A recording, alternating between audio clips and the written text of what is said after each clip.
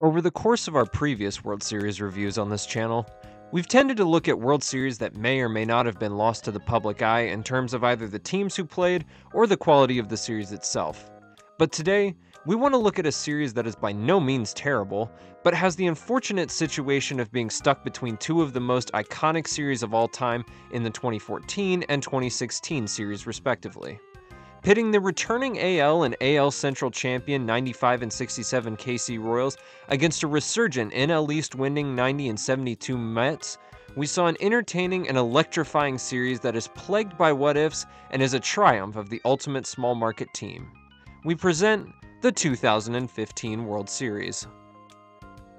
Before we meet our teams, Let's take a brief moment and acknowledge the 2015 season as a whole. A-Rod recorded his 3,000th hit and 2,000th RBI this year in his last full season of play. Seven no-hitters were thrown this season, one of the most no-hitterful seasons of all time, with Max Scherzer throwing two, including a 17 strikeout performance against the division rival Mets on the last day of the regular season. You know who the last person to do that was? Nolan Ryan in 1973.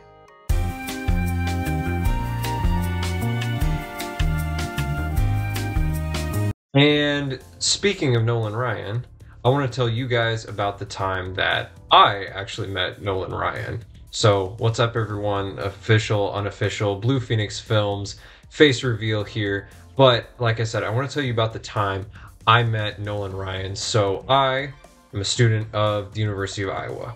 And you know who else goes to the University of Iowa? Caitlin Clark, the greatest women's college basketball player of all time.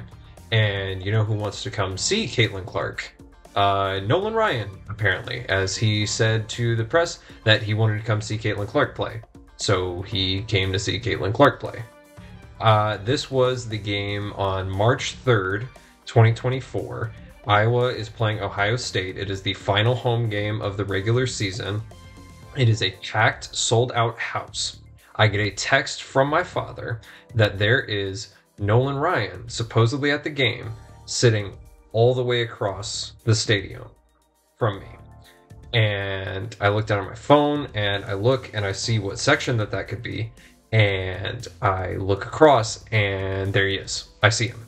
And he is completely, he is completely camouflaged with the slew of older white Iowans that are there. He's got the hat, he's got like the checked farmer shirt, you know, he's not trying to stand out at all except that he's sitting in like some of the most expensive seats in the house.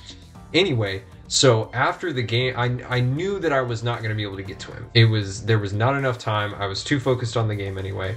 And I was like, well, that's cool. I was in the same building as him, you know, whatever.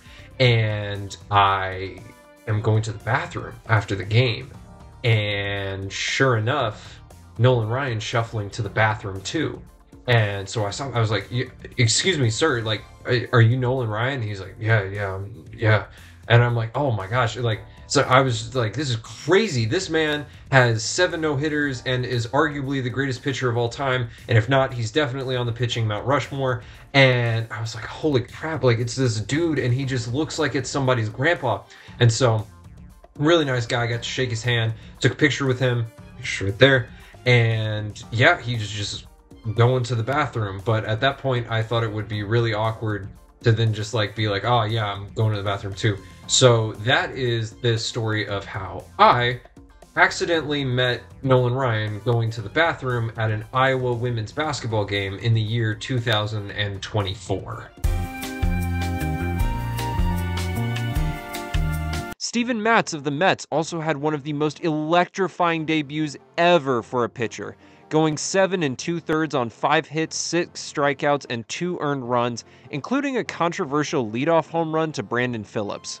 The electrifying part, though, he went three for three at the plate with a double, two singles, and four RBI in a 7 2 Mets win. Ah, shoutouts to the old National League. On April 29th, the Orioles and White Sox partook in 2020 Day at the Camden Yards, where they played a game in front of no fans due to civil unrest, and August 11th marked the first time in MLB history where all 15 home teams won on the same day. Now, with that out of the way, let's meet our teams.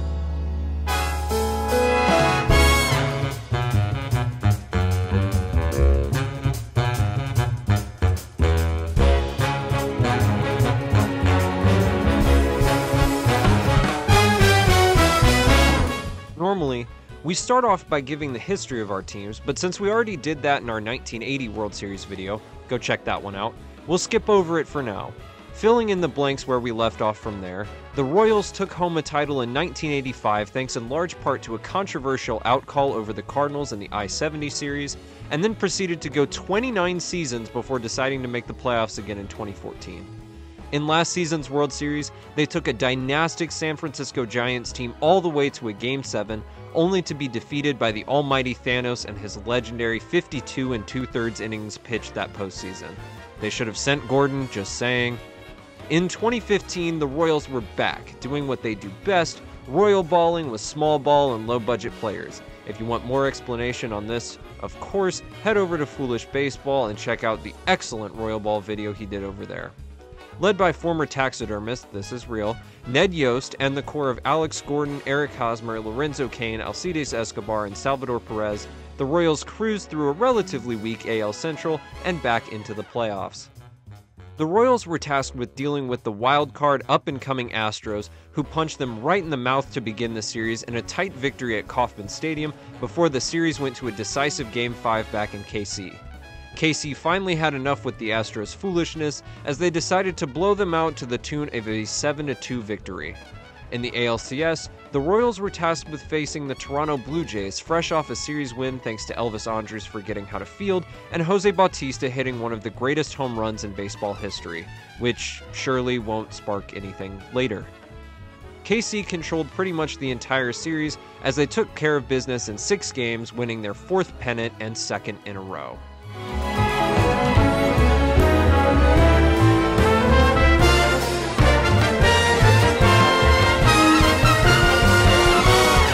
Moving on over to Flushing, the New York Amazing Metropolitans, or just the Mets, were originally founded in 1962 as one of baseball's first expansion teams, bringing a second team back to New York as the Dodgers and Giants both left for California. Like most expansion teams in any sport, unless you're the Vegas Golden Knights, they did terrible to start, going 40 and 120 in their inaugural season. According to the Wikipedia article, the Mets never finished better than second to last until 1969 when they pulled the Uno reverse card and won the World Series with 100 wins over the 109 win Orioles in an upset, garnering the Miracle Mets nickname.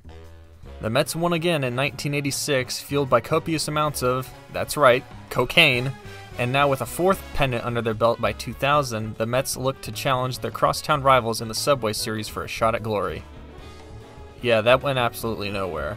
Their next best shot came in 2006 until they lost to arguably the greatest curveball of all time, shaking them so badly they did not make the playoffs again until 2015. Again, would highly recommend this video by the Finz Chats for further explanation. The 2015 Mets came into the season hoping to bring the first winning season to this side of New York since the opening of Citi Field in 2009. The Mets were optimistic as they had a new core full of exciting young pitchers and an old pitcher who gets everyone excited. We're talking about Jacob DeGrom, Thor himself, Noah Syndergaard, Steven Matz, who we discussed earlier, the Dark Knight, Matt Harvey, and the substantial seductive himself, Bartolo friggin' Colon. The rest of the lineup rounded out very well with veterans Curtis Granderson and David Wright, and then younger bloods and Daniel Murphy, Travis d'Arnaud, and Wilmer Flores. And yes, this was the year with the whole Wilmer Flores trade debacle. The Mets had a hot start, followed by a terrible summer, only being bolstered by the acquisition of Yoenis Cespedes at the trade deadline to cap off a hot second half of the season. In the end, the Mets won the NL East, going 90 and 72 over a fairly weak division, and setting themselves up for a date with the Dodgers. The Mets were almost bested in the NLDS as the LA pitching duo of Clayton Kershaw and Zack Greinke were almost too much to overcome, the Mets ended up winning in five, despite a blatant assault attempt by Chase Utley in Game 2, earning the right to play the up and coming Cubs for the NL pennant. And while these Cubs were good, they were a little inexperienced and unprepared for Mets pitching, as Matt Harvey outdueled Jon Lester, Noah Syndergaard beat Cy Young winner Jake Arrieta, DeGrom cooked Kyle Hendricks, and Big Sexy himself cruised against Jason Hammel. With the sweep in hand, the Mets took their fifth pennant and rode off to face the Royals in Kansas City three days later.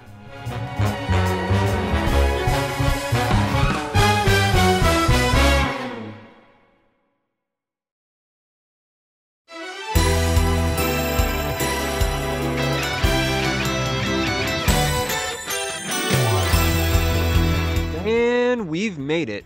Welcome to Game 1. It is October 27th at 7:09 p.m. Central Standard Time, Kauffman Stadium, Kansas City, Missouri. Matt Harvey is taking the hill for the Mets and and he swings and hits it into left center. Back at the track, it is dropped. Cespedes couldn't make the catch. How about that effort? Digging around third. Here comes Escobar. 1 0 Kansas City. And wow. 1 0 Royals already as Alcides Escobar takes Matt Harvey deep? Maybe deep into that deep Royals outfield is a better expression. Funnily enough, this electric opening had actually happened once before in a World Series, as Patsy Dougherty did the same thing to open Game 2 of the 1903 World Series. Edinson Volquez would take the hill for the Royals on the day that his dad unfortunately passed away. As there's a drive in a deep left field by Castellanos, it will be a home run. And so that'll make it a 4 0 ball game. Volquez was unaware until after the game's conclusion. The Mets would strike back after getting punched in the mouth by plating a run in the fourth and Curtis Granderson homering in another in the fifth. Now, if you were watching this on TV, you may have been confused as to why a Fox scoreboard appeared with the Mets' first run, but now an MLB Network scoreboard appeared during their next run. This was due to a bizarre power outage at the Fox broadcasting compound in the fourth inning and throwing the broadcast into a frenzy for a good portion of the game. The game itself was delayed for seven minutes due to there being no working cameras for replay, but both Terry Collins and Ned Yost agreed they would just continue the game without replay. Fox was able to get most of their primary feed back for the sixth inning, and no further issues were had. In the top of the sixth, the Mets would tack on another run, making it 3 to 1 off a sacrifice fly. On the next play, Wilmer Flores would send one screaming down the third base line, only to be picked by Moustakas at third, saving the run. In the Royal half of the inning, Hosmer would sacrifice in a run while Moustakas singled in another to knot the game at 3. In the eighth, a Hosmer fielding error gifted the Mets another run, allowing for the Mets to bring in their star closer, Jeurys Familia, in for the save and for the game. Familia needed four outs. He got two, and then Alex Gordon absolutely cooked him for a home run to dead center, tying the game. This was Familia's first blown save since July 30th. The game moved to extras where the Royals bullpen kept things in check through the 11th. In the bottom of the 11th, Jarrod Dyson led off with a line shot into left field, only to be robbed by Curtis Granderson of what surely would have been a leadoff triple. Dyson came up again in the next inning with the bases loaded and two outs, only to pop out thanks to not being able to handle the sheer sex appeal that is Bartolo Colon, who was on the mound for this inning. Both teams stayed silent until the 14th, where in the Royals half, Escobar hit a ground ball to third that was bobbled by David Wright, allowing him to reach safely. Ben Zobrist would single him over, and, with the bases loaded and nobody out, Hosmer would sack in Escobar, giving the Royals a 1 0 lead in the series. With this loss, Bartolo Colon became the oldest player in MLB history to be credited with a loss in the World Series.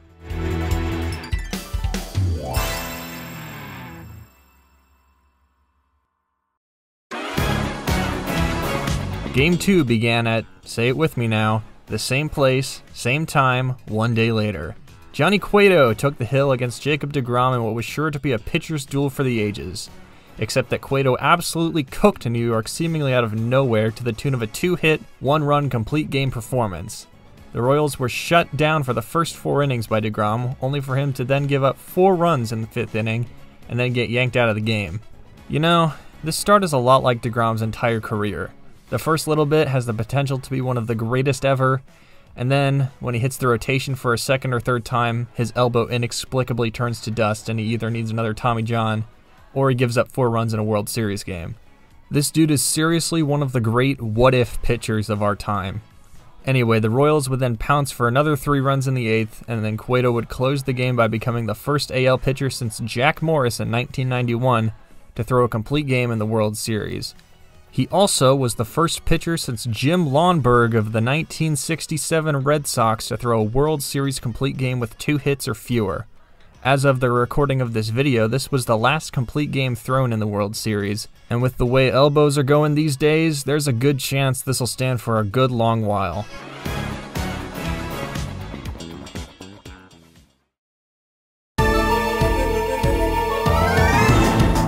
Moving on over to Queens for Game 3, the Mets called on the God of Thunder to face Yordano Ventura, RIP, in a must win game.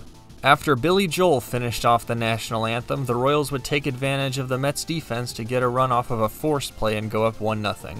Not to worry, as New York picked right up with a Captain America two run home run in the bottom half of the inning to energize the New York crowd. Kansas City would punch back the next inning with Salvador Perez singling in a run and then getting another run off of a passed ball to make it 3 2.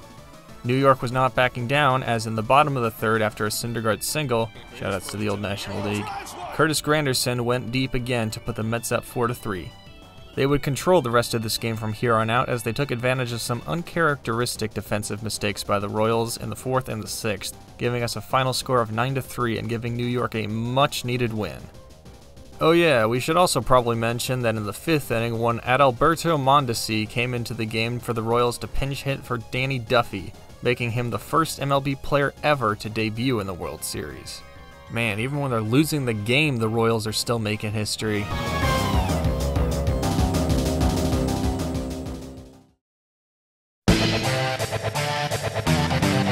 Country music star Tim McGraw threw out the first pitch for New York the next night as we once again come full circle on how did we get here.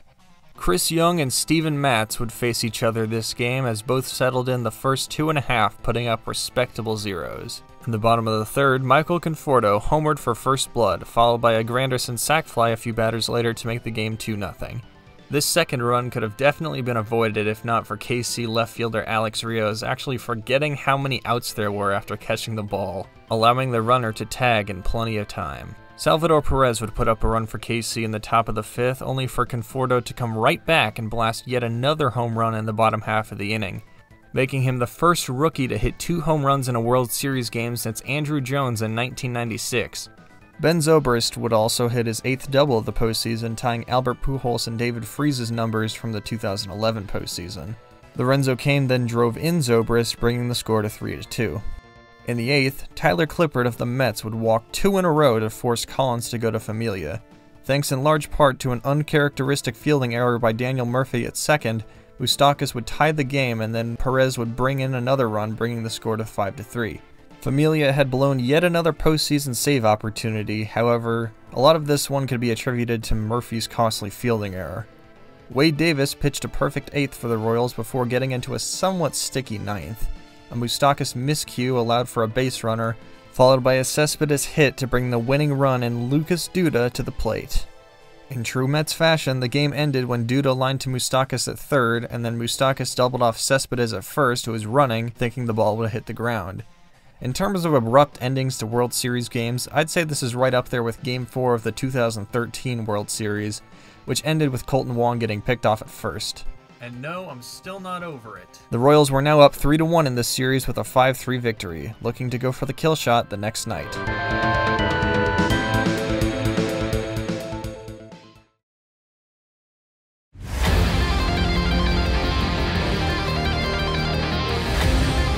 Is now November as the Mets are officially in do or die mode for Game 5. The Dark Knight would need to call on all of his strength for this game to will New York to a win. Curtis Grand pick him up immediately for a home run in the bottom of the first, and then would score the Mets' only other run in the sixth after the Mets could only manage getting a single run out of a bases loaded, no out situation. Matt Harvey was phenomenal in eight innings as KC had zero answers for him. If only baseball games were eight innings and not nine, as this may have gone down as one of the most electric World Series pitching performances ever, with Harvey willing his team toward a victory with every inning pitched. Terry Collins was faced with the decision heading into the ninth. Do you listen to the fans and let Harvey back out there despite his high pitch count? Or do you bring in Familia, who, while a fresh arm, could be a liability to you? After some arguing by Harvey, Collins pulled what we like to call a reverse pulling Blake Snell in the fifth inning of a game he could have won, and let Harvey back into the mound for the ninth. Sunlight came for the Dark Knight, however, as he would walk Lorenzo Cain to start the inning, and then allow Hosmer to drive him in. Harvey was yanked for Familia, where Familia would proceed to blow his third save in eight opportunities this postseason, tying him with Rob Nen in 2002 for the most. As Perez hit one softly to David Wright at third, Wright checked Hosmer before throwing to first, and in a daring play, Hosmer broke for the plate as the ball headed for first, and Duda was not ready for it, throwing the ball away way wide and allowing Hosmer to score. Hosmer's almost reckless base running tied the game and sent it to extras. The game moved to the 12th, where, unfortunately, the Mets bullpen and defense gave up on them as the Royals would score five in the top half of the inning before Wade Davis slammed the door in the bottom half, giving KC its first title in 30 years.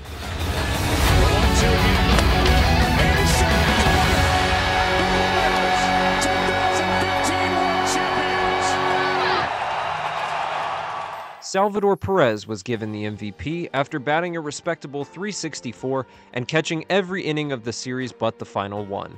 He became the first catcher since Pat Borders in 1992 to win World Series MVP and the second Venezuelan behind Pablo Sandoval.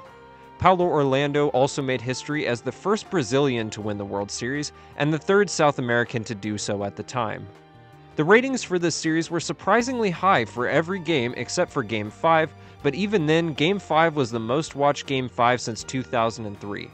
With the Mets losing the series, it would mark the first decade since 1910 in which no New York team won the World Series, with the Yankees not even appearing during the 2010s. The Royals have not made the playoffs since, going 81 and 81 in 2016, while the Mets have lol Mets their way in and out of small playoff appearances for the better part of the last decade now. I believe the lasting legacy of this series to be a hidden gem. As we said at the beginning of the video, you often overlook it when seeing the two series that sandwich this one, but this series offered just the same amount of entertainment for far lower stakes. The KC redemption arc was complete, finally giving a title to one of the most underrated yet awesome teams in MLB history. And for the Mets, one could argue that this was the start of the modern iteration of LOL Mets, and Mets fans in the comments, let us know if you agree with that take. I don't know if a lot of people saw this World Series coming at the start of the season, but it was memorable and it deserves more praise. And even though we on this channel are Cardinals fans, to our sister team across the state, this one goes out to you.